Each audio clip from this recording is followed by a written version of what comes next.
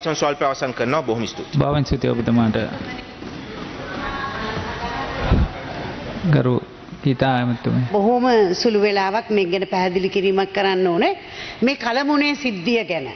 මේ දරුවා මියයෑම් පිළිබඳ ඊයේ රාත්‍රියේ මේ දැනගත් මොහොතේ සිට මම ඉතාම වෙහෙස මහන්සි වෙලා මේ පිළිබඳ සොයා බැලුවා. මේ වෙන විට අභ්‍යන්තර පරීක්ෂණයකට යොමු කර තියෙනවා පොලිසියෙන් ඇයව අත්තඩංගුවට අරන් මේ දරුවා දෙමව්පියන් විසින් අතහැර දමන ලද දරුවෙක් කෝවිලක තමයි ප- ඉඳලා තියෙන්නේ අවුරුදු 15යි වයස.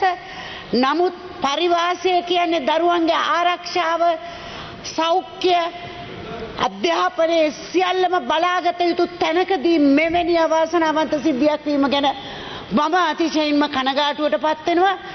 මේක එක හේතුවක් තමයි මේ පරිවාශ නිලධාරීන්. මම හොයලා බැලුවා මෙයත් මේ පිටපාරෙන් කරන්න කෙනෙක්ද කියලා. කවුරු හරි දේ- දේශපාලඥයෙක් දාපු එක්කෙනෙක්ද කියලා එව්වා. නෑ මෙයා විභාගෙට ගිහිල්ලා විභාගේ පාස් වෙලා ඇවිල්ලා. හැබැයි කිසිම වෘත්තීය පුහුණුවක් නෑ. පරිවාස නිලධාරීන් කියන්නේ නිකම්ම නිකන් නැනීලා නෙවෙයි. සර්වන්ස්ලා නෙවෙයි. ඒගොල්ලන්ට මේ දරුවන්ගේ මානසික. තත්ත්වය වටහා ගන්න පුළුවන්කමක් තියෙන්න ඕනේ. ඉතාම ඉක්මනින් මේ අපේ අමාත්‍යංශ මගින් අවුම පුහුණු කරන්නට මම කටයුතු කරනවා. හොඳයි. බොහොම ස්තුතියි. වලගොඩ මැතිතුමා. ස්තුති කතානායකතුනි පොඩි කාරණාවක් පිළිබඳව අවධානය යොමු කරන්න. ඉතාමත් කෙටියෙන් ගන්න. ඔබ දන්නවා